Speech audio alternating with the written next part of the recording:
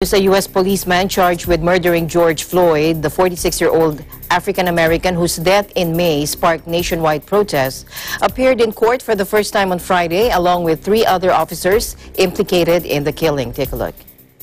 The four officers sought separate trials in the case as court filings showed each seeking, seeking to pin the blame for Floyd's death on the others.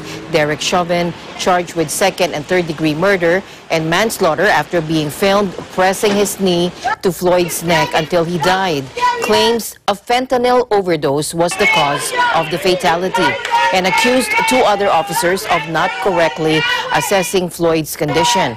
Prosecutors rejected the overdose claim as ludicrous and said all four, Chauvin, Thomas Lane, Alexander Kueng, and Tou Chow, Tou Thao, should be tried together based on substantial evidence that they worked in close concert with one another when Floyd was killed. Prosecutors say Floyd's death was vicious, brutal, and dehumanizing. He had been detained for allegedly using a counterfeit $20 bill.